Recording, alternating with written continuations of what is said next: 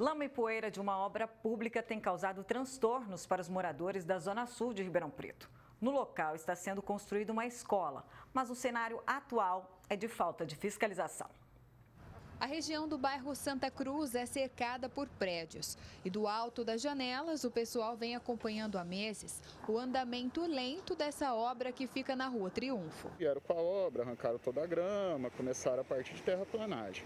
Eu moro aqui de frente, a minha sacada é de frente à obra. Vivemos com janelas fechadas, tudo. Você está no apartamento hoje, você passa um pano, sai cheio de terra. O grande terreno público vai se tornar uma escola municipal e estava, inclusive, em campanhas políticas. Alguns avanços já são notados, mas muito longe do fim.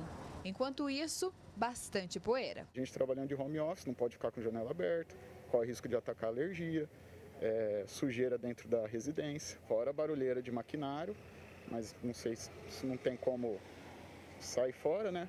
Mas eu acho que o tempo, no meu ver, é, por estar já mais de seis meses de obra, é, acredito que a parte de terraplanagem, parte de muro de arrimo já era para estar pronta. Nós moramos no prédio ao lado aqui, e dioturnamente é terra para tudo quanto é lado, você leva terra para dentro de casa, terra nos carros, está horrível. O engenheiro civil faz uma análise. Obra de engenharia normalmente causa um certo transtorno, mas o que a gente tem visto é que está acontecendo em quase todas as obras um nível de transtorno bem acima do normal aceitável pela, pelos moradores, né?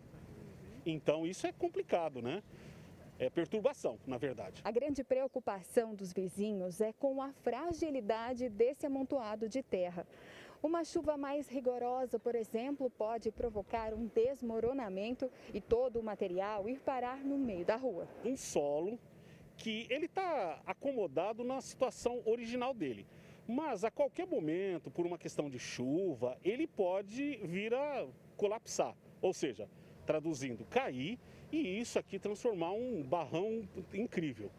O que está sendo feito aqui, a gente observa na obra, é que está sendo providenciado a execução certa de um muro de arrimo, protegendo tanto as pessoas que passam e também quem está ali na obra. Teve chuva recente, nem tão forte, e já provocou transtorno. A rua ficou tomada pelo barro. Desceu muita terra para a rua, secou a terra, os carros passando. Na ocasião da reportagem, um caminhão lavava a rua para tirar a terra o que quase nunca acontece. E hoje que eles vieram limpar aqui, é, tirar a poeira, por causa da, acredito, vacinação, que tem um posto de saúde do lado.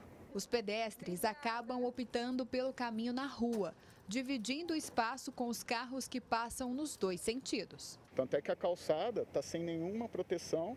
Se passa uma criança, alguma outra pessoa, corre o risco de ser soterrada. E mesmo os materiais da obra estão sem nenhuma proteção, sem nenhuma segurança. A expectativa é grande que melhore, mas acho que vai demorar, né? Fora do lado de lá, como eu tenho cão, vocês podem ver, eu passei com ele, lá de lá é impossível passear, porque não tem, não tem calçada. Aqui agora parece que vai ser feita uma calçada, né? Mas, por enquanto, está intransitável, inclusive com carro.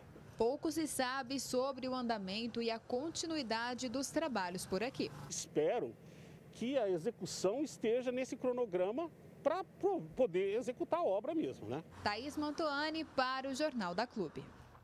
A Secretaria da Educação esclareceu em nota que o local foi cercado por tapumes um dia depois da gravação da reportagem e que a construção da escola está seguindo o cronograma. A entrega está prevista para o final deste ano.